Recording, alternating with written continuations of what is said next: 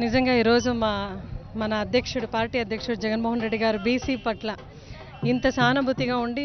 మమ్మల్ని ఏదో ఒక రీతిలో అంటే పెద్ద స్థాయిలో తీసుకొని పోవాలా అనే ఉద్దేశం ఆయన మనసులో కలిగింది కాబట్టి మమ్మల్ని అందరినీ గుర్తించి మన పైన నమ్మకం పెట్టి ఈరోజు ఈ సీట్ కేటాయించారు ఖచ్చితంగా మేము ఎక్కడైతే ఆయన బీసీలకు న్యాయం చేసినారో మేమందరూ కూడా సీట్ కేటాయించినారో మేమందరూ కూడా చాలా హర్షిస్తూ పూర్తి స్థాయిలో మేము పని చేస్తూ న్యాయం చేస్తూ మేము కూడా ఆయనకి ఈ సీట్ని కానుకగా గిఫ్ట్ ఇస్తాం కానుకగా ఇస్తాము. మళ్ళా చంద్రబాబు నాయుడు గారు చూసిన మనము గత ఐదు సంవత్సరంలో కూడా ఆయన కేవలం బీసీని ఓటు బ్యాంకుగా వాడుకొని ఈరోజు బీసీలందరూ కూడా మోసపో మోసం చేసే ఒక పరిస్థితి కనపడుతుంది. మీటింగ్ జరిగింది ఇప్పుడే ఇప్పుడే ఆ రాయదుర్గంలో కూడా చాలా ఎత్తున ప్రజలు స్వచ్ఛందంగా వచ్చి జగన్ అన్నకి ఈరోజు సపోర్ట్ పలుకుతున్నారంటే కేవలం అది చంద్రబాబు నాయుడు పైన ఉండే ఒక వ్యతిరేకత మళ్ళా జగనన్న ఇచ్చిండే ఆ నవరత్నాల పైన ఆకర్షితులై జనాలందరూ కూడా. ఈరోజు బీసీలకి రాజ్యాధికారంలో సగం ఇస్తానని చెప్పడం నిజంగా చాలా మనకి చాలా హ్యాపీగా ఫీల్ అవుతున్నారు బీసీలు. ఎందుకంటే ఈరోజు ఎప్పుడు కూడా ఆంధ్రప్రదేశ్ హిస్టరీలో కూడా మేము ఎక్కడ చరిత్ర చూస్తే కూడా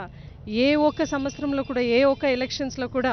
ఏ ఒక్క ముఖ్యమంత్రి క్యాండిడేట్ కూడా ఇంత గట్టిగా హామీ బీసీ ఎస్సీ ఎస్టీ మైనారిటీల పట్ల ఇవ్వడం జరగలే. ఈరోజు ఒక నిర్ణయం ఇక మంచి నిర్ణయం తీసుకొని జగన్ గారు ఒక హిస్టరీ క్రియేట్ చేయబోతున్నారు కాబట్టి బీసీలు అందరూ కూడా ఎస్సీలు మైనారిటీ ఎస్టీలు అందరూ కూడా హండ్రెడ్ హండ్రెడ్ పర్సెంట్ సపోర్ట్ చేస్తూ జగన్మోహన్ రెడ్డి గారి నాయకత్వం నమ్ముతున్నారు. జగన్ గారికి నిజంగా బాగా పాదయాత్ర చేస్తూ చేస్తూ అధ్యయనం చేస్తూ చేస్తూ ఆయనకి అనిపించింది ఏంటంటే బీసీలకి కేవలం ఏమో ఒక వెయ్యి పెన్షన్ రెండు వెయ్యి పెన్షన్తో కాదు ఎస్సీలకి ఏదో ఒక చిన్న పథకం ద్వారా కాదు. నిజంగా ఆ కులం ఎదగాల అంటే రాజ్యాధికారంలో సగం ఫిఫ్టీ పర్సెంట్ నామినేటెడ్ సీట్స్ అని చెప్పిండే మాట ప్రతి ఒక్క బీసీ ఎస్సీ ఎస్టీ మైనారిటీ కుల బాంధవులందరికీ కూడా అది మనసులో ఇమిడిపోయి అవును రాజ్యాధికారంలో మా జగనన్న సగం ఇస్తాడని చెప్తున్నారు కాబట్టి